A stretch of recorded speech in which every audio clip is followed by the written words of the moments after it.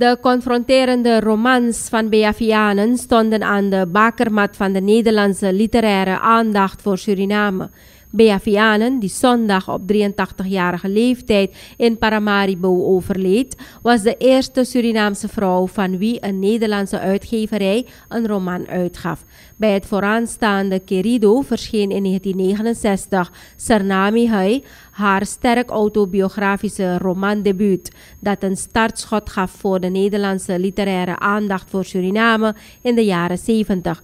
Vianen hoort tot de groep van auteurs die sinds de jaren 70 de Nederlandse literatuur verrijkten met confronterende verhalen over de voormalige Nederlandse kolonie, verhalen van binnenuit.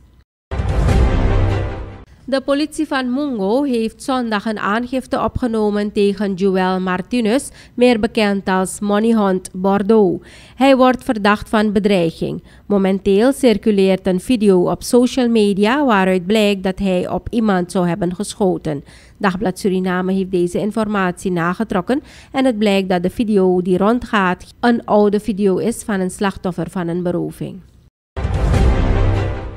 Het ontzielde lichaam van de 64-jarige Jozef L. werd zondagmiddag in een waterput achter zijn woning aangetroffen. Volgens verklaring van de buurtbewoners zou hij in de vroege ochtend een windie hebben gehad, waarna hij met een houwer achter zijn woning rende. Later op de dag werd zijn ontzielde lichaam in de put aangetroffen. Er zijn vooralsnog geen tekenen van misdrijf aangetroffen.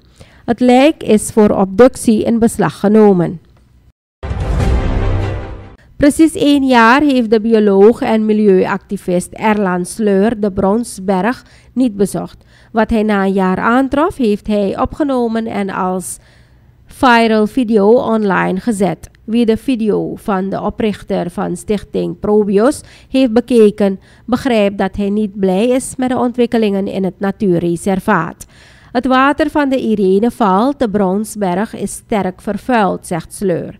De bioloog-activist is er niet over te spreken dat de overheid en alle betrokken instanties dit toelaten. Goudwinning in het natuurreservaat is voor de natuurliefhebber een nachtmerrie op klaarlichte dag.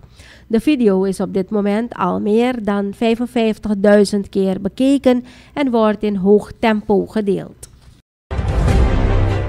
Met betrekking tot het beheer van ons milieu heeft Suriname zich internationaal gecommitteerd aan het behoud van 93% van zijn bos.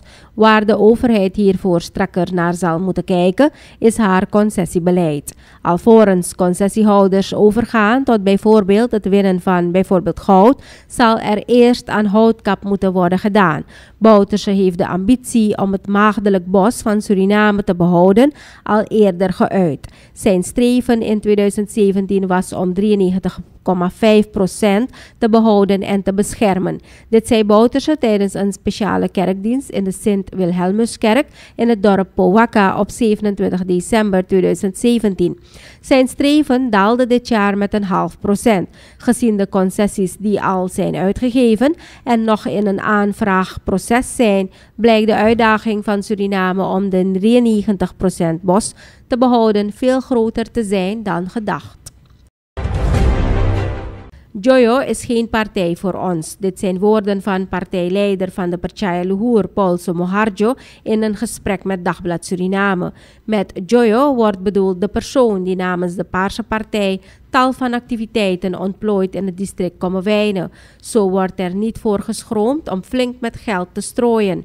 Somoharjo zegt nadrukkelijk dat het fenomeen Joyo niet zeggend is voor zijn partij. Afgelopen zaterdag had de PL haar Opoyari bijeenkomst te Marienburg in het district Kommerwijnen. De partijleider blikt heel voldaan en tevreden terug, vooral wanneer hij de opgekomen massa onder de loep neemt. Bij de komende verkiezingen zegt Somoharjo verzekerd te zijn van twee zetels in het district. We hebben geen tegenstanders. Joyo is geen partij voor ons. We houden rekening met Ansadi alleen vanwege haar politieke ervaring. De Nationale Assemblée hoopt medio januari een aanvang te maken met de algemene politieke beschouwingen op de jaarreden van president Desi Bouterse. Gelijk daarna zal worden begonnen met de behandeling van de begroting. VHP-parlementariër Mahinder Jogi zegt dat hij zich zorgen maakt over het enorme begrotingstekort en de staatsschuld wanneer dat in relatie wordt gebracht met de vele voornemens en projecten die president Desi Bouterse zowel in zijn jaarreden als zijn nieuwjaarstoespraak naar voren heeft gebracht. Het begrotingstekort voor het dienstjaar 2019 komt neer op meer dan 8 miljard SRD. Hiervan zal een bedrag van bijna 7 miljard SRD gefinancierd worden middels leningen. Het schuldplafond komt hiermee steeds verder onder druk te staan. Het aangetreden bestuur van de NPS-afdeling Nikeri werd bij acclamatie gekozen, aangezien er maar één kandidatenlijst meedong. Consensus zorgde ervoor dat de kandidaten die sinds 12 december 2018 hadden aangediend met algemene goedkeuring werden verkozen. De nieuwbakken voorzitter M. Winter zei zich ervan bewust te zijn dat er veel werk te doen is om NPS Coroni in ere te herstellen. Er zal geen politiek binnenhuis gevoerd worden. Zijn bestuur zal zich onder de bevolking begeven om de NPS in haar oude glorie te herstellen. De NPS is al jaren niet meer zichtbaar in Coroni. Desalniettemin heeft de Groene Partij heel veel gedaan in het Kokos-district, werd vanaf het podium verkondigd. De verkiezing van de subafdeling voor de Nationale Democratische Partij in Nikeri wordt op zaterdag 12 januari gehouden. Er zal in alle vijf resorten, Wageningen, Groot-Henaar, Nieuw-Nikeri, Oostelijke Polders en Westelijke Polders, gestemd worden, omdat er twee kandidatenlijsten zijn ingediend. Dit bevestigt Reon Gokul, voorzitter van de subafdeling Wageningen. In dit resort wordt één lijst aangevoerd door Rinesh Mangaldin, terwijl de andere getrokken wordt door Gokul zelf. De kandidaten op de lijst van Gokul worden ondersteund door NDP-parlementariër en hoofdbestuurslid Rashid Doukhi. De kernuitvlucht Casabaolo van de politieke partij DOE heeft op een unieke manier het jaar 2019 ingeluid. Dat is door gratis brasas te verdelen aan burgers in de omgeving van Krasje. Dit gebeurde op zaterdag jongsleden. Volgens deze kern brengt een brasa mensen bij elkaar, stimuleert saamhorigheid, waardeert de andere troost als er verdriet is, geeft vorm aan goede wensen enzovoorts. Een van de bekende personen uit de kernuitvlucht Casabaholo van de Doe is Karel Breveld.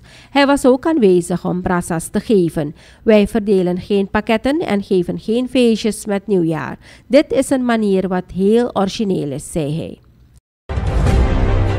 De populaire Surinaamse toneelgroep Asago heeft afgelopen zaterdag hun eerste opvoering gepresenteerd voor het jaar 2019. Deze Opoyari-show was heel goed bezocht. De aanwezigen hebben wederom genoten van de comedy van deze groep tijdens de twee toneelgroepen. You Probleem Anomi Probleem en Amocho Bakru Ebar Namitapu.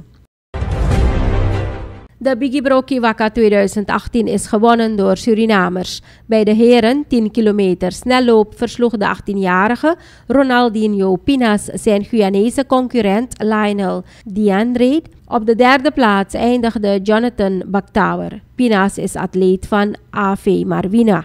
Bij de dames won SNL-atlete Elsida Tumere de 10 kilometer snelloop.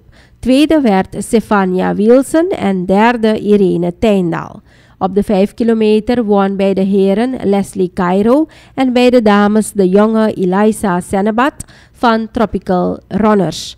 Naast de wedstrijdnummers was er bij deze 16e editie van de Biggie Brokkie Waka ook een 5 kilometer wandel- en trimloop en een kinderloop. Meer dan 5200 lopers namen deel aan dit evenement over de Jules Weidenbosbrug. De Bond van Leraren en Alliantie van Leerkrachten heeft op 4 januari 2019 het eigen bondcentrum geopend in het district Nikeri. Dit deelt Pramesh Debi, bestuurslid van BVL, als mee.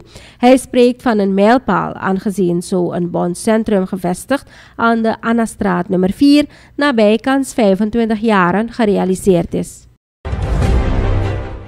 Tijdens de algemene ledenvergadering van de particuliere lijnbushoudersorganisatie op vrijdagavond hebben de zeer verhitte bushouders massaal duidelijk gemaakt dat het PLO-bestuur niet deugt dit naar aanleiding van de alsmaar cumulerende betalingsachterstand van de brandstofcompensatie, de vele ad hoc maatregelen van het directoraat transport en de onopgeloste chaos binnen het particulier vervoer. Zo is voor het jaar 2018 slechts het eerste kwartaal uitbetaald aan brandstofcompensatie. Dit heeft grote ontevredenheid veroorzaakt bij de particuliere bushouders. De brandweer kreeg zaterdagavond een melding van een woningbrand aan de Adrianusstraat in het verzorgingsgebied van politie Nieuwehaven. Uit het politioneel onderzoek blijkt dat de bewoner ten tijde van de brand naar de winkel was. Hij had een muskietenkaars aangemaakt. Toen hij terugkwam, merkte hij dat de woning in lichterlaaien stond. Het betreft in deze een woning met een oppervlakte van 4 bij 3 meters, welke deels van hout, steen en zinkplaten was opgetrokken. De woning was niet tegen brand verzekerd. De bewoner tapte elektriciteit af van een buurman. In de SVB Eerste Divisie heeft PVV nu ook meegemaakt hoe een verlies aanvoelt in het seizoen 2018-2019. Daarvoor had de politie voetbalvrienden alle vijf partijen gewonnen. Vrijdagavond stond ze tegenover Transvaal in het André Kamperveen Stadion. Transvaal won met 2-0. Intermongotapu won door een gouden doelpunt van Miguel Darson in de 83ste minuut met 1-0 van SNL. Robin Hood versloeg Notch met 5-0. De SVB-bekercompetitie is afgelopen weekend van start gegaan. Op het Jabar Imandi Sportcomplex kwam Sofia van de Quata Sportbond uit tegen Kamal de Waker. Sofia verloor met 0-2 van KD. De Saramaka won de bezoekende junior met 0-1 van Interboskamp. Waar de ploeg van de lidbond wel won, was de Sport- en Vormingscentrum Blauwgrond. Daar won de thuisspelende SV Van Dijk met 2-1 van Jong Aurora van de tweede divisie. De bekerwedstrijden worden de komende dagen voortgezet.